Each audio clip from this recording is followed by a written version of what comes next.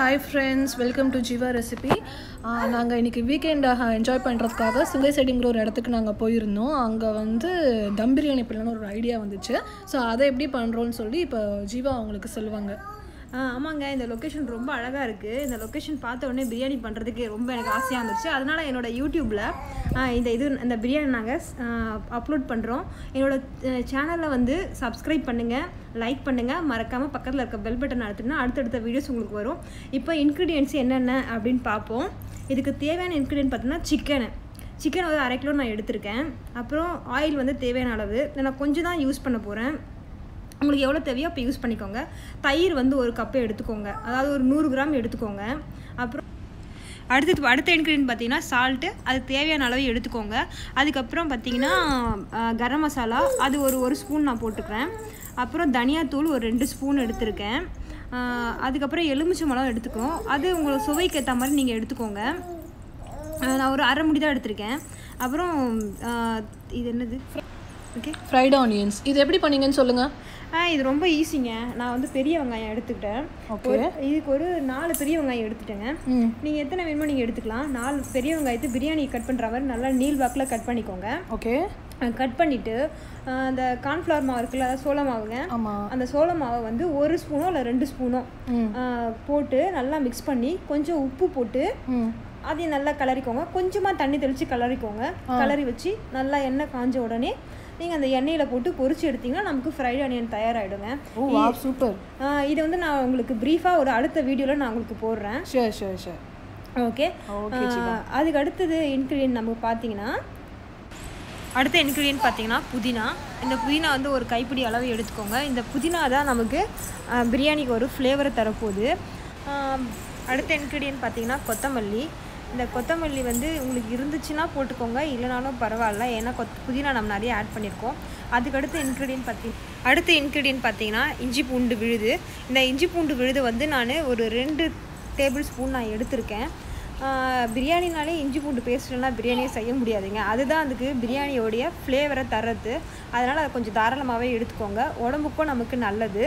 அடுத்துக்கடுத்த அடுத்துக்கு அடுத்த இன்க்ரீடியன்ட் பார்த்தீங்கன்னா மிளகாய் பொடி இந்த மிளகாய் பொடி சக்தி மிளகாய் பொடி நான் எடுத்திருக்கேன். இது வந்து ஒரு தே ஒரு டேபிள் ஸ்பூன் மிளகாய் பொடி எடுத்திருக்கேன். உங்களுக்கு எந்த அளவுக்கு காரம் தேவையோ அந்த அளவுக்கு நீங்கள் மிளகாய் பொடியை போட்டுக்கோங்க. அதுக்கு அடுத்தது இன்க்ரீடியன்ட் பார்த்தீங்கன்னா இந்த ஸ்பைசஸ்லாம் நான் ஆட் பண்ணியிருக்கேன். என்னென்ன ஸ்பைசஸ் பார்த்தீங்கன்னா கொஞ்சம் சோம்பு அதாவது ஒரு ஒரு டேபிள் ஸ்பூன் சோம்பு போட்டிருக்கேன். ஒரு டேபிள் ஸ்பூன் சீரகம் அப்புறம் ஒரே ஒரு பட்டை எடுத்திருக்கேன். அதுக்கப்புறம் ஒரு அஞ்சு ஆறு ஏலக்காய் எடுத்திருக்கேன். ஒரு நாலு லவங்கம் லவங்கம் எடுத்திருக்கேன். உங்களுக்கு உங்களுக்கு என்னென்ன ஸ்பைசஸ் ஆட் பண்ணணும்னு நினைக்கிறீங்களோ அதெல்லாம் நீங்கள் ஆட் பண்ணிக்கலாம். இதுக்கு வந்து எந்த ரெஸ்ட்ரிக்ஷனுமே கிடையாது. எனக்கு என்னென்ன தேவையோ அதை மட்டும் நான் போட்டிருக்கேன். அதுக்கு அடுத்தது எப்படி நம்ம செய்யலான்றது வீடியோக்குள்ளே போய் பார்ப்போம். வாங்க போய் பார்ப்போம். ஓகே சிவா இப்போ சிக்கனில் என்னென்னலாம் போட்டு நீங்கள் மேரினேட் பண்ண போகிறீங்கிறத இப்போ நீங்கள் சொல்லுங்கள் ஓகே அது ஒன்றுமே இல்லை பிரியா. இதில் வந்து நம்ம எடுத்து வச்சுக்கோ இல்லையா அந்த சிக்கனு அப்புறம் ஒரு நாலு பச்சை மிளகாய் போட்டிருக்கேன். அப்படியே நீங்கள் கீரி போட கீரி முன்னாடி வரைக்கும் கீரி போட்டுக்கிறேன். மஞ்சத்தூள் மிளகாத்தூள் தனியாத்தூள்.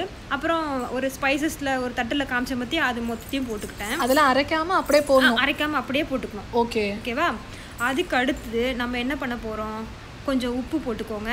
அந்த தயிர் நான் ஒரு ஒரு நூறு கிராம் சொன்னேன் பார்த்தியா அந்த தயிர் போட்டுக்கோங்க. ஓகே. அப்புறம் கொஞ்சம் ஃப்ரைட் ஆனியன் இப்போவே கொஞ்சம் போட்டு வச்சுக்கணும். ஓகே? கரம் மசாலா எப்போ ஆட் பண்ணுவீங்க? ஆ அப்போவே ஆட் பண்ணியாச்சு. நல்லா okay, சொல்லிட்டேன்ல ஏற்கனவே. இப்போ இது எல்லாத்தையும் நல்லா பெசரிக்கணும். நான் கையிலேயே நல்லா பெசரிக்கிறேன். அப்புறம் இதில் வேணும்னா நீங்கள் கொஞ்சம் எண்ணெய் கூட ஊற்றி பெசஞ்சிக்கலாம். ஓகே. ஏன்னா நம்ம இதில் கொஞ்சோண்டு எண்ணெய் தான் நம்ம யூஸ் பண்ண போகிறோம் சரி. ஓகேவா?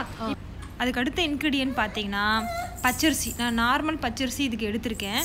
பிரியாணி அரிசி எடுக்காமல் ஏன்னா இந்த பிரியாணி எனக்கு சிம்பிளாக வேணும் அப்படின்றதுக்காக தான். ஓகே ஒரு வழியாக அடுப்பை பற்ற வச்சு ஆமாம் என்ன சட்டியை வச்சுருக்கீங்க? ஆமாப்பா இந்த சுச்சுவேஷனுக்கு ஏற்ற மாதிரி சட்டியில் பண்ணால் எப்படி இருக்கும்னு நான் யோசித்தோம் அதாவது வில்லேஜ் ஸ்டைல்லாம் வந்து செய்வாங்கல்ல அது மாதிரி செய்யலான்ட்டு. இப்போ சட்டியை வச்சாச்சு கொஞ்சம் எண்ணெய் ஊற்றி இந்த எண்ணெய் காஞ்சதுக்கு அப்புறமா நான் கொஞ்சம் கருவேப்பிலை போட போகிறேன் ஏன்னா அது ஒரு ஒரு ஃப்ளேவர் தரும்ல அதனால. இப்போது இந்த மேரினேட் பண்ணி வச்சுக்க சிக்கனை போடுறோம். சிக்கனை போட்டுட்டு ஒரு விஷயம் கண்டிப்பாக பண்ணணும். அது கலரவே கூடாது நீங்கள் ஏன்னா அந்த நம்ம வந்து நார்மல் பிரியாணி மாதிரி இல்லாமல் தம் பிரியாணினால கலர்னிங்கன்னா என்ன ஆகும்னா அந்த சிக்கன் வந்து கீழே போகும் அந்த எண்ணெய் மேலே வந்துடும் ஓகே அப்புறம் அடி பிடிக்க ஆரம்பிக்கும். அதனால் கலர் கூடாது ஜஸ்ட் செட் பண்ணி மட்டும்தான் விடணும். ஓகே ஓகே அதுக்கப்புறம் நம்ம களி வச்சிருக்கோம் இல்லையா பிரியாணி அரிசி? அந்த சாரி நார்மல் ரைஸு அந்த ரைஸ் போட்டு அழகாக வந்து ஸ்ப்ரெட் பண்ணி விட்டுருங்க. ஸ்ப்ரெட் பண்ணி விட்டுட்டு இப்போ கிளறக்கூடாது ஆ எஸ் இப்போ கலரக்கூடாது ஏன்னா இந்த சிக்கனோட ஃப்ளேவர் வந்து ரைஸ்க்கு வரும். சிக்கன் வெந்து மேலே வந்து அதுக்கப்புறம் இந்த ரைஸ் வேகும். உங்களுக்கு இந்த அதான் dum biryani actual okay okay கீழே வந்து மேரினேட் பண்ண வச்ச சிக்கன் இருக்கணும் மேலே ரைஸ் போடணும். ஆனால் எந்த விதமான கலர்களும் இருக்கக்கூடாது. இருக்கக்கூடாது. அதுக்கு தான் நான் கலர் கூடாது சொன்னேன். அந்த எண்ணெய் எண்ணெய் அதுக்கு மேலே சிக்கனு ஓகே ஓகே அதுக்கு மேலே லேயரில் நான் அந்த ரைஸ் போட்டிருக்கேன். சிக்கன் வெந்து அந்த ஸ்மெல்லு நல்லாயிருக்கும் பிரியாணி ஸ்மெல்ல வரும். ஓகே இதுக்கப்புறமா ஒரே ஒரு டம்ளர் தண்ணி ஊற்றிருக்கோம் ஆ. இது எதுக்குன்னா ஏன்னா அரிசி நம்ம வேக வைக்கல. அது வேகத்துக்காக ஊற்றியாச்சு இந்த அரிசிக்கு தேவையான அளவு உப்பு மேலே கொஞ்சோண்டு போட்டுக்கலாம். ம். ஓகேவா?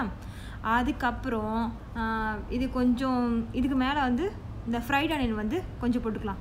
ஆல்ரெடி கொஞ்சம் ஆட் பண்ணியிருக்கோம். நம்ம மேரினேட் பண்ணதில் பண்ணியிருக்கோம். இது வந்து ரைஸ்க்கு ஃப்ளேவர் தரதுக்காக இங்கே மேலே லைட்டாக தூவி விடுறோம். அதுக்கு அடுத்தது இப்போது தம் தம் போடணும். எங்க நாங்கள் தம் போடுறதுக்கு நாங்கள் இதுக்கு மூடி நாங்கள் எடுத்துகிட்டு வரல. ம். நாங்கள் என்ன பண்ண போகிறோம்னா இங்கே ஜஸ்ட்டு எடுத்துகிட்டு வந்த பேப்பர் பிளேட்டை சும்மா மூடி அதுக்கு மேலே அதாவது சும்மா அந்த வாசனை போகக்கூடாது வேகணுன்றதுக்காக தான் இதெல்லாம் பண்ணுறோம் மூடி இது பண்ணி ரைஸ் குக்கர் எடுத்து வந்திருக்கோம். அதை வந்து வச்சுருக்கோம். சும்மா காமெடியாக தான் இருக்கும். ப்ளீஸ் கொஞ்சம் அட்ஜஸ்ட் பண்ணிக்கலாம். ஓகே இப்போ நான் ஒரு டுவெண்ட்டி மினிட்ஸ் வந்து வச்சாச்சு. இப்போ நான் எடுக்க போகிறேன் எப்படி இருக்குன்னு என்னோட பிரியாணி எப்படி இருக்குன்னு நீங்கள் பாருங்கள் பார்ப்போம் ரொம்ப ஆவலோட காத்துக்கிட்டு இருக்கோம். பிரியாணி எப்படி வந்திருக்குன்ட்டு. சீக்கிரம் எடுங்க. என்ன என்ன திறக்காம இருக்காங்க? ஆமாம் ரொம்ப ஈகராக இருக்குது சீக்கிரம் எடுங்க. திறக்கிறாங்க. என்னோட ஆவலை நீங்கள் ரொம்ப தூண்டுறீங்க. சீக்கிரம் எடுங்க. வாவ் செம்மையாக இருக்குது பிரியாணி. சூப்பர். நிஜமாக சூப்பராக இருக்குங்க. ஸ்மெல் நல்லா இருக்குது பார்ப்போம் எப்படி வந்திருக்குன்ட்டு. நல்லா ஸ்மெல் வருது. இனிமே அதை கிளறி பார்த்தா தான் தெரியும். எந்த அளவுக்கு ரொம்ப அழகா வந்திருக்கு. அடி பிடிச்சிருக்கான்னு முதல்ல நம்ம செக் பண்ணணும். ஏன்னா கொஞ்சமா எண்ணெய் ஊற்றிருக்கோம் தண்ணியும் ரொம்ப கொஞ்சமா ஊற்றிருக்கோம் ஆமாம் பார்ப்போங்க நல்லா வெந்திருக்கு. இந்த ஸ்மெல் எனக்கு ரொம்ப பிடிச்சிருக்கு. நார்மலாக இல்லாமல் ரொம்ப இதுவாக இருக்குது நான் கூட நினச்சேன் இந்த பேப்பர் பிளேட் போட்டு மூடுறோம். அந்த ஸ்மெல் அதில் இருக்குமான்னுட்டு. பரவாயில்லைங்க. நல்லா நல்லா வந்திருக்கு. பர்ஃபெக்டாக வந்துருச்சு. ஆ நீங்களே பாருங்கள் எப்படி இருக்குன்ட்டு. ரொம்ப டெம்டிங்காக இருக்குது எனக்கு. இப்போவே சாப்பிட்ணுன்ட்டு என்னால் வெயிட் பண்ண முடியல. ஒரே ஒரு ப்ராசஸ் தான். மேரினேஷன் ப்ராசஸ் அதை தாண்டி வேற எதுவுமே கிடையாது. ஆ ரொம்ப நான் சிம்பிள் நான் சொல்லவே மறந்துட்டேன் உங்களுக்கு. நான் மேரினேட் பண்ணது வந்து ஒரு டூ டு த்ரீ ஹவர்ஸ் நான் மேரினேட் பண்ணி வச்சேன். ஓகே அதை நான் உங்ககிட்ட சொல்லவே மறந்துட்டேன். சாரி வாவ் நம்ம பிரியாணி ரெடி ஆயிடுச்சு பாருங்கள் எப்படி இருக்குன்ட்டு. வா சூப்பர் சாரிங்க உங்களால் உங்களுக்கு என்னால் தர முடியல. நாங்கள் மட்டும் தான் சாப்பிட போகிறோம் ஆ அது சைட் பை சைடாக நாங்கள் மீன் குழம்பு வச்சோம். இந்த மீன் குழம்பு ரெசிபியை வந்து நான் அதுக்கு அடுத்தது நான் போடுறேன். இப்போ பார்த்துக்கோங்க கரண்டி எடுத்து வரல அந்த கரண்டில் குழம்பு கொஞ்சம் கொஞ்சமாக தான் வருது. இது சாப்பிட்றது பார்த்தீங்கன்னா எங்கள் கூட வந்த ஃப்ரெண்டு இவர் என்னோட அண்ணா. சாப்பிட்றாரு.